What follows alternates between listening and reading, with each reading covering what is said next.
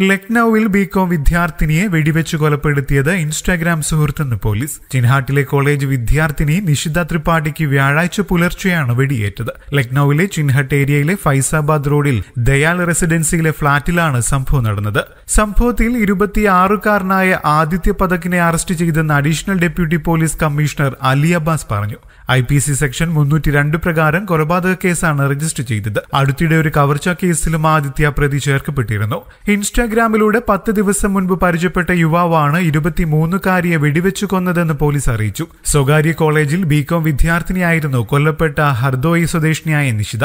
നിരവധി വിദ്യാർത്ഥികൾ പങ്കെടുത്ത ഹൌസ് പാർട്ടിയിലാണ് സംഭവം നടന്നതെന്നാണ് നേരത്തെ പുറത്തുവന്ന റിപ്പോർട്ട്. ഫ്ളാറ്റിൽ നിന്നും മദ്യക്കുപ്പികൾ പോലീസ് കണ്ടെടുത്തു. എന്നാൽ ഫ്ളാറ്റിൽ പാർട്ടി നടന്നിരുന്നുവെന്ന റിപ്പോർട്ട് പോലീസ് തള്ളിക്കളഞ്ഞു.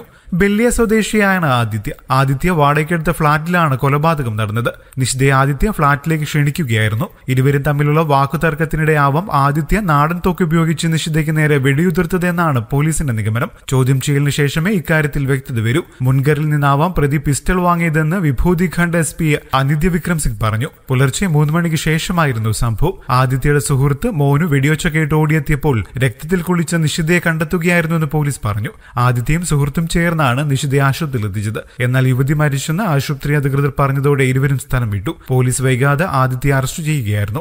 കൂടുതൽ വാർത്തകൾക്കും വിശേഷങ്ങൾക്കുമായി ഈ ചാനൽ സബ്സ്ക്രൈബ് ചെയ്യാൻ മറക്കല്ലേ. നന്ദി.